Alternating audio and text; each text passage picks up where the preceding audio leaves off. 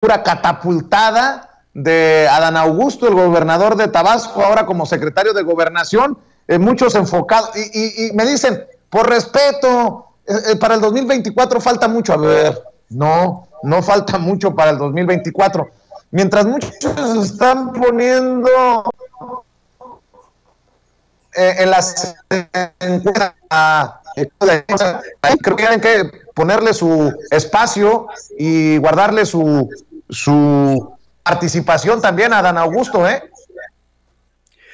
Me, parece, mi querido Vicente, tal como yo lo veo, me parece que la jugada del presidente de ayer eh, incluyó también un mensaje muy claro, verdaderamente muy, muy claro para todos, para tirios y para troyanos.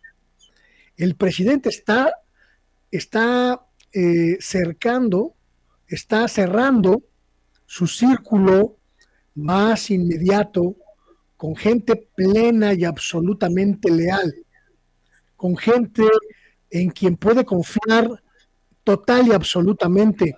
La incorporación de Adán Augusto a la Secretaría de Gobernación, como antes la incorporación de Rosa Isela Rodríguez a la Secretaría de Seguridad Ciudadana, son movimientos que tienen que ver con la lealtad, con la coincidencia plena en el proyecto de la cuarta transformación y con la posibilidad que tiene el presidente de confiar plenamente en operadores eficaces que hagan lo que él quiere hacer, no que hagan lo que se les pegue la gana, sino que hagan exactamente lo que él desea, porque se trata de profundizar los cambios de la transformación, de la cuarta transformación. Adán Augusto López Hernández, mi querido Vicente, es sin duda el político que mejor entiende eh, la forma de reaccionar, la forma de, eh, eh, entender,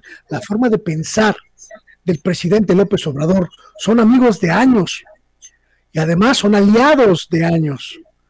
Es una, es una decisión que tiene que ver con el mensaje, el presidente de la República es el hombre fuerte en términos políticos en este país, que nadie, que nadie se confunda, que absolutamente nadie intente confundirse.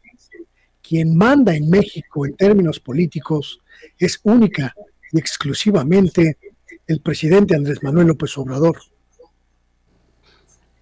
Oye, eh, Luis Guillermo, eh, para,